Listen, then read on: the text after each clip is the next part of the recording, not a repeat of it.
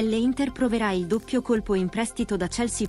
Questo ciò che è emerso dopo il vertice oggi tra Simone Inzaghi e l'intera gestione. La volontà quella mantenere Romelu Lukaku a Milano. Nuovo in prestito. Ma non solo. Gianluca Marzio rivela a Sky Sport, oggi c'è stato questo incontro tra Inzaghi, Gianghi manager si è parlato di Koulibaly e il Nerazzurri chiederà a Chelsea un prestito. Ausilio andrà a Londra per negoziare un nuovo prestito da Lukaku chiederà anche Koulibaly. A Inzaghi è stato detto al vertice che Inter proverà a prendere in prestito Koulibaly, ha detto l'esperto del mercato.